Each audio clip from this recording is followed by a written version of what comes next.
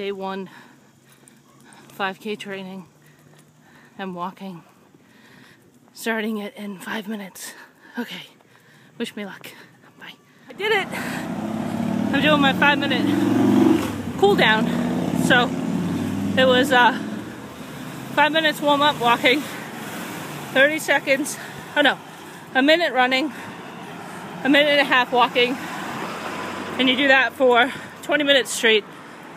Five minutes cool down at each end. Oh, that felt good. Okay, now I'm tired. Now I have to do it three times a week and then walk on the other days. Or just do it more. Good for me. Thanks.